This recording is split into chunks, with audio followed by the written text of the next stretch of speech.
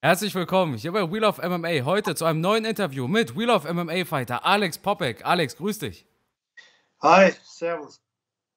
Du kämpfst am 9.4. vor heimischer Kulisse. Du kämpfst wieder in Bayern, nachdem du in Amerika warst. Wie fühlt es sich an, in der Heimat zu sein und bei einer ausverkauften kleinen Olympiahalle zu kämpfen?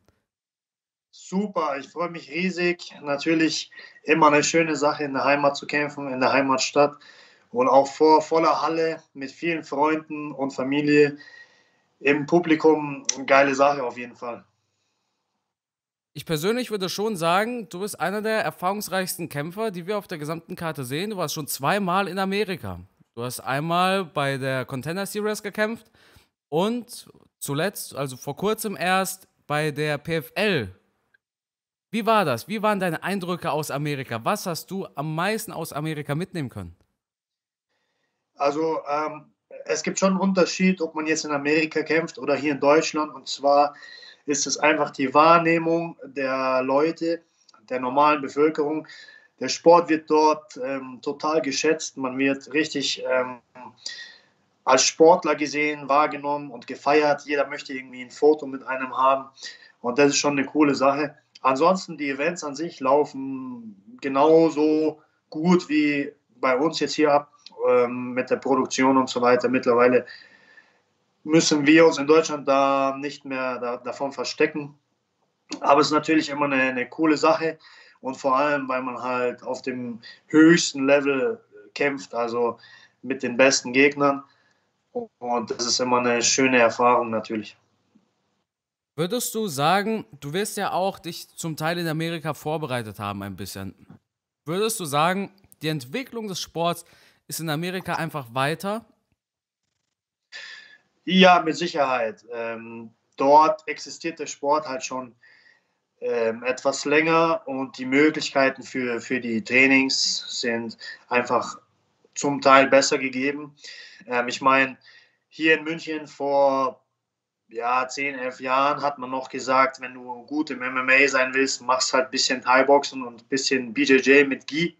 Das hat sich natürlich auch mittlerweile geändert, aber die Entwicklungszeit war doch eine etwas längere. Also jetzt sind wir schon auf einem besseren Stand, definitiv, aber die Amerikaner und auch andere Länder wie die Russen sind uns natürlich immer noch äh, ein Stück voraus. Kommen wir zu einem weiteren Unterschied und zwar war das wahrscheinlich bei der Contender Series so, da war die Waage auch ein paar Tage vor dem Kampf. Ne? Wahrscheinlich war freitags die Waage oder donnerstags und samstags der Kampf. Jetzt ist es ja anders. Du hast jetzt samstags die Waage und samstags auch den Kampf. Ihr wiegt euch ein paar Stunden vor dem Event erst ein. Hat das etwas in deiner Vorbereitung geändert, an deiner Diät oder sowas? Oder bist du da genauso oder gehst du da genauso ran wie sonst auch? Ähm, also dieser Kampf jetzt bei Will of MMA wird ähm, Catchweight bis 100 Kilo äh, stattfinden. Deshalb ähm, habe ich das Gewicht so mehr oder weniger, muss da jetzt nicht großartig Gewicht machen. Ähm, und normalerweise trete ich ja im Halbschwergewicht bis 93 Kilo an. Und wenn man dann, wie du schon gesagt hast, einen Tag vorher beziehungsweise 24 bis 36 Stunden eben Zeit hat zwischen Waage und Kampf, dann kann man das natürlich gut machen. Jetzt für einen Kampf am gleichen, also wenn die Waage am gleichen Tag ist als der Kampf, wäre das schon ein bisschen schwieriger. Deswegen hat man sich jetzt hier für diesen Kampf bei Wheel of MMA auf einen Catchweight eben geeinigt und deswegen passt es auch so, ja. Hast du dir deinen Gegner im Vorfeld angeschaut oder hast du gesagt, du kämpfst erstens gegen egal wen und zweitens gehst du da sehr, sehr allgemein an die Vorbereitung. Das heißt, du schaust dir nicht unbedingt oder ihr schaut euch als Team, als Munich Top Team, schaut euch nicht die vorherigen Kämpfe von ihm an, sondern ihr bereitet euch generell vor. Ähm, also grundsätzlich, ich bin in meinem Training eigentlich das ganze Jahr über Diesmal bereite ich mich tatsächlich sehr generell vor. Ich trainiere alles, äh, will einfach Spaß an der Sache haben, fit sein. Und ja, und es hat sich einfach so ergeben. Ich habe dem Björn äh, einfach mal eine Nachricht geschrieben, wie es aussieht wegen München.